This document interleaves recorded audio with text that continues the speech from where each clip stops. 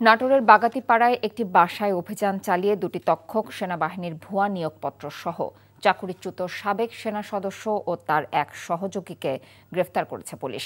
বাগাতিপাড়া থানার ওসি শফিউল আজম জানিয়েছেন, রোববার বাগাতিপাড়া উপজেলার মিস্ত্রিপাড়া এলাকার একটি ভবনের দ্বিতীয় তলায় অভিযান চালায় পুলিশ।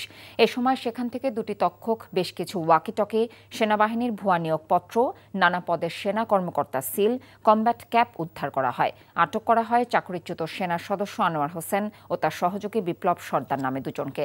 পরে তাদের আদালতের মাধ্যমে কারাগারে পাঠানো হয়। তার লগে আপনার সম্পর্ক কি লাইলি মজনু টাইপের? যে লাইলিরে মারলে মজনু দিয়ে ওঠে। মানে কি? ধারাবাহিক নাটক। গোলক সবক দাও করে হ্যাঁ? চান্দাবাজি করতে যা ধরা খাইছিলাম। সেটা বাসে আনছে কে? আমি। মুই কি উল্টা পাল্টা কিছু বলছি? মুই বলছি যে তাড়াতাড়ি যাতে আসতে পারে সে ব্যাপারে বলছি। মানে এখন তো আসতে বেশি সময় লাগার রচনা মোহাম্মদ মামুনার রশিদ। গল্প পরিচালনা শামীম জামান। বানাইয়ে বই রইছি এই গল্প তো পাই গেছি রে। গল্প তো ফাইনাল হয়ে গেছে। এই কাজটা কেটা করল স্যার? জামাল বলছে।